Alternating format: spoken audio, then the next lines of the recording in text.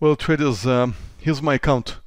And here's the art of starting up uh, $6,000 or so, I'm not sure exactly, and coming down to, to over 6,000.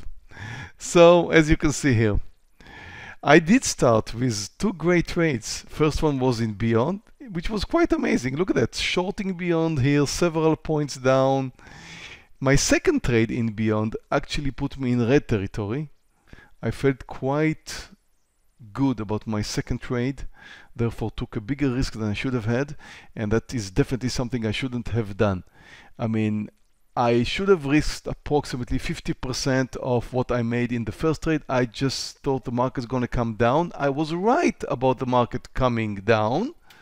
So if we take a look at uh, the S&P 500, you can see that uh, the market uh, did come down under the lows, but it is a Friday. Therefore, sometimes when the market's coming down, it does not continue its trend. I mean, whatever comes next, I don't know, but that pullback here from the lows back to almost the highs here is just something that usually does not happen.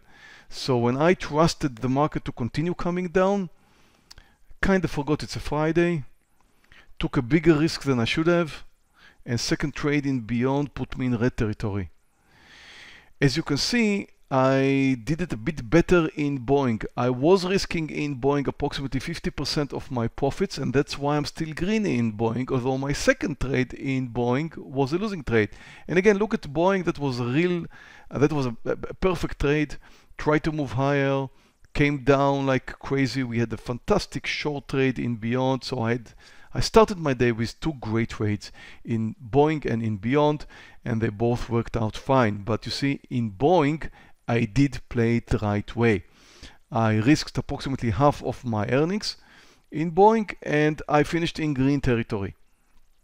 I took a relatively small loss in WKHS, which just didn't work. I mean, it actually did reach my target. I was trying to get a bit more than my target, but ended end up losing money.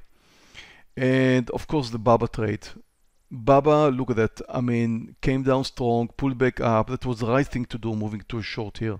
Initially moved up, then came down. Finally, I thought I've got myself a winner. I needed like another 10 or 20 cents here to get my partial. Did not work out. Got myself a loser. It happens. I've did. I've done some mistakes today. So especially the one in in beyond, especially the one where I took my second trade in uh, larger quantity than I should have had. And other than this, I probably failed because the market failed to continue moving down. So it's probably a combination of some mistakes I've done and of course the market that couldn't have been trusted today. I need to trust the market. I mean, there's nothing else there for me to do but to trust the market, but that just didn't work out today. Anyway, I'm going to finish uh, in a very nice um, uh, green week.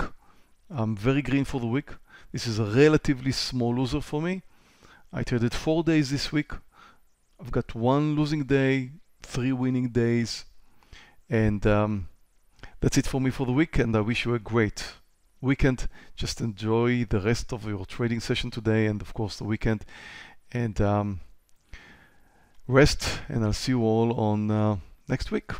So enjoy your time. Thank you for joining today. And if you're on YouTube, if you don't mind giving us a thumb up, that would be appreciated. Thank you all. See you next week. Bye traders. Thank you for watching our video.